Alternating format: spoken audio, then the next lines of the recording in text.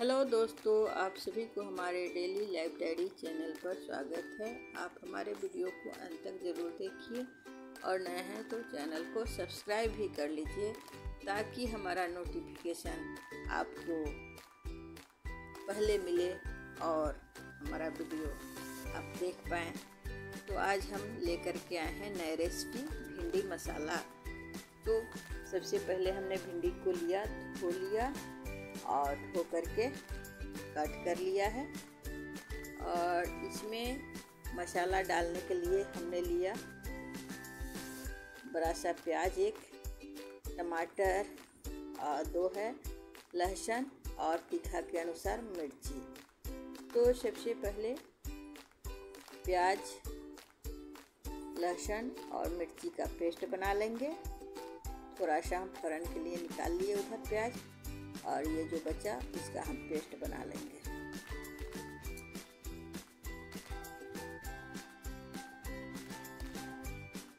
और अब हम चलते हैं इधर सब्ज़ी बनाने तो हमने कढ़ाई में डाल लिया है। तेल। सरसों। में भिंडी डाल करके फ्राई कर लेंगे।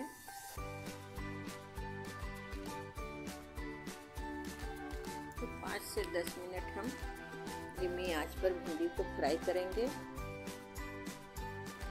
जिसे भिंडी के खड़ियापन जो होता है, वह खत्म हो जाए।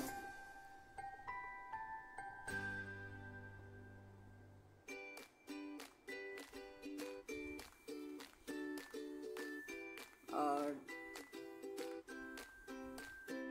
सब्ज़ी बनाने पर भिंडी का टेस्ट टेस्ट अच्छा है।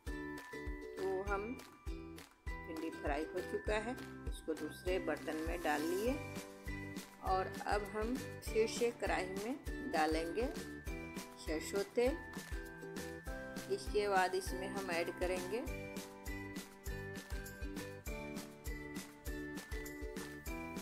राई।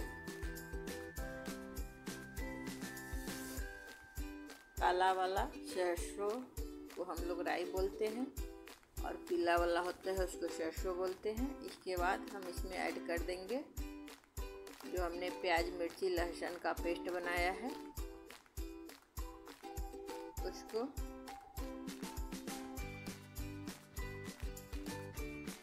और इसको भी 10 से 20 मिनट अच्छा से फ्राई करेंगे मसाला को। धीमी आँच पर ही और इसमें ऐड किए आधा चम्मच हल्दी पाउडर, एक चम्मच है।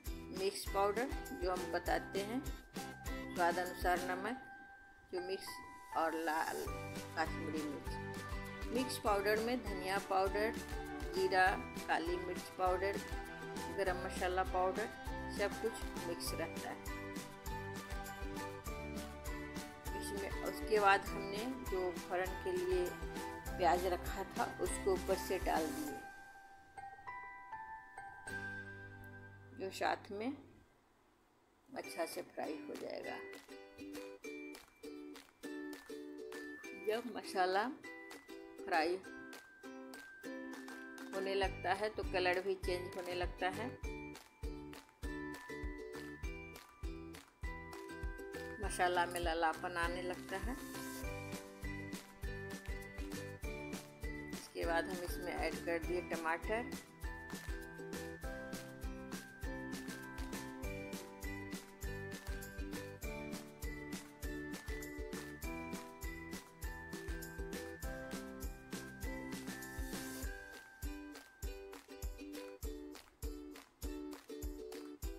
यदि मसाला फ्राई नहीं हुआ हो और मसाले से पानी सूख गया हो तो इसमें थोड़ा थोड़ा पानी डालकर फ्राई करना चाहिए, जब तक मसाला अच्छी से फ्राई ना हो जाए।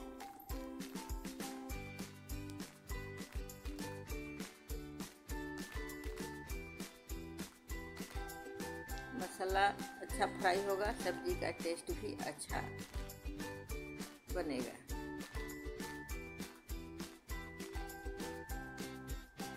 देखने से पता चल रहा है जो मसाला तैयार हो चुका है। तो अब हम इसमें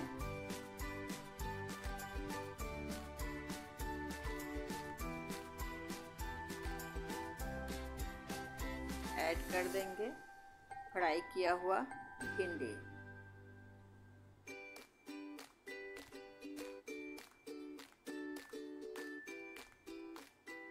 और मसाला भिंडी को अच्छी से मिक्स कर लेंगे। और पाँच मिनट फिर भी हम इसको फ्राई साथ में करते रहेंगे।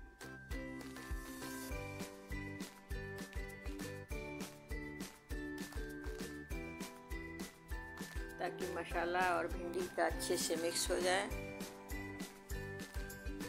इसके बाद हम इसमें ऐड करेंगे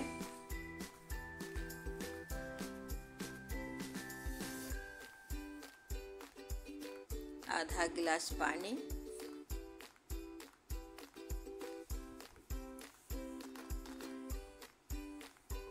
क्योंकि भिंडी में ज़्यादा ग्रेवी नहीं रखना है, सिर्फ़ भिंडी को पकाना है। तो इसलिए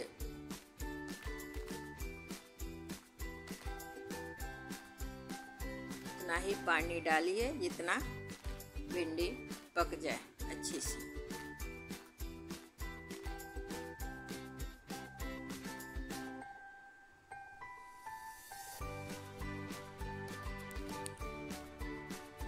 तब हम इसको ढक करके पका लेंगे। 10 मिनट। धीमी आँच ही रखेंगे। जो जल्दी से पानी नहीं सूखे और भिंडी ना पके।